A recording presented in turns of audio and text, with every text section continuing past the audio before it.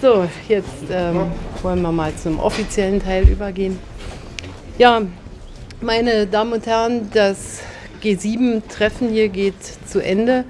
Und wir erinnern uns nochmal daran, dass G7 ja gegründet wurde, um auf der Grundlage gemeinsamer Interessen und Werte die Herausforderungen der Globalisierung anzunehmen und sie auch zum Wohle der Menschen bei uns zu Hause zu gestalten und zum Wohle der Bürgerinnen und Bürger der ganzen Welt.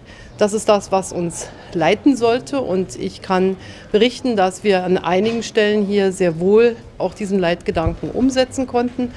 Das ähm, betrifft die Themen Terrorismusbekämpfung, wo wir ja bereits gestern eine gemeinsame Erklärung abgegeben haben. Das betrifft die ähm, Diskussion internationaler Konflikte, ob das die Situation in Nordkorea ist, Libyen, Syrien, Russland, Ukraine. Hier gibt es ein hohes Maß an Übereinstimmung und auch gemeinsamem Vorangehen. Das ähm, trifft zu, wenn es um die Agenda 2030 geht, ein wichtiges Bekenntnis äh, für die internationale Gestaltung der Ordnung und auch um das, die Rechte von Frauen als Menschenrechte genauso wie den für Deutschland sehr wichtigen Teil der Fürsorge und Verbesserung des internationalen weltweiten Gesundheitssystems. Wir hatten dann in einem zweiten Komplex sehr harte Auseinandersetzungen und Diskussionen um das Thema Handel. Hier, finde ich, haben wir eine vernünftige Lösung gefunden. Wir bekennen uns zu dem regelbasierten internationalen Handelssystem und wir wollen die WTO erfolgreich machen, gerade auch durch eine erfolgreiche Beendigung der 11. WTO-Ministerkonferenz. Wir werden gemeinsam unsere Märkte offen halten und äh, gegen Protektionismus vorgehen, gleichzeitig aber auch dafür Sorge tragen, dass unfaire Handelspraktiken intensiv bekämpft werden. Das ist auch im deutschen Interesse, wenn ich mal an die Frage des Stahls äh, denke. Dritter Punkt und ähm, sehr schwierig, äh, um nicht zu sagen sehr unzufriedenstellend, ist die gesamte Diskussion über das Thema Klima gewesen. Hier gibt es eine Situation, dass sechs oder wenn die Sie die EU dazu nehmen, sieben zu eins äh, über das Thema Klima gewesen. Hier gibt es eine Situation, dass sechs oder wenn die Sie die EU dazu nehmen, sieben zu eins äh, stehen. Das heißt, es gibt keinerlei Anzeichen bis jetzt, ob die Vereinigten Staaten von Amerika im Pariser Abkommen verbleiben werden oder nicht. Demzufolge haben wir hier da auch nicht drum geredet, sondern sehr deutlich gemacht, dass wir, die äh, sechs Mitgliedstaaten plus die EU von G7, weiter uns natürlich zu den Zielen bekennen. Wir ähm, verweisen auf das Protokoll von und die Ergebnisse von Isushima, wo also ganz klar festgelegt ist, zwei Grad Ziel, die Finanzierung und die Dekarbonisierung im Laufe dieses Jahrhunderts.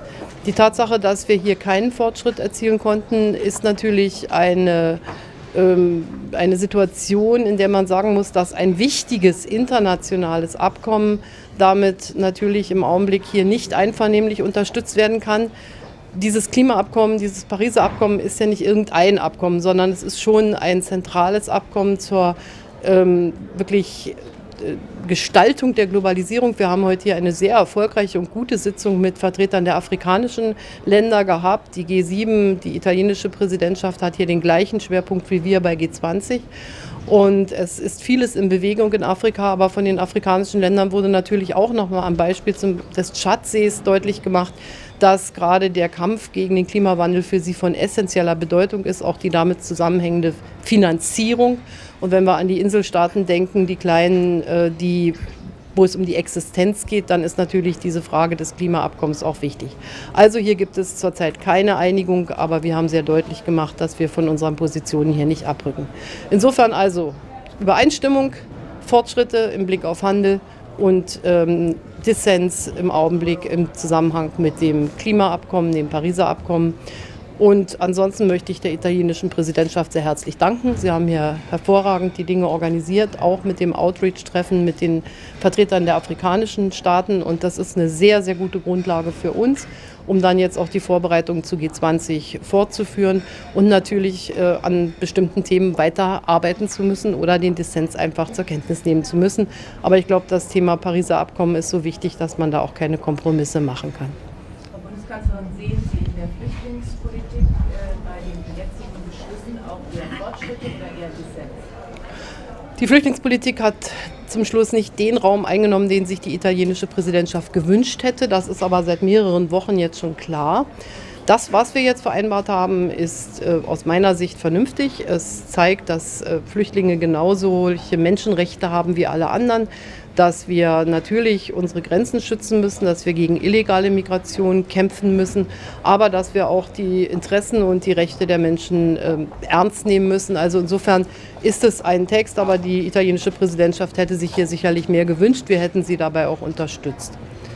Bundeskanzlerin, Sie haben gesagt, es habe Fortschritte im Bereich Handel gegeben, aber wenn man sich das Kommuniqué anguckt, ist es ja eher ein Rückschritt im Vergleich zu früheren.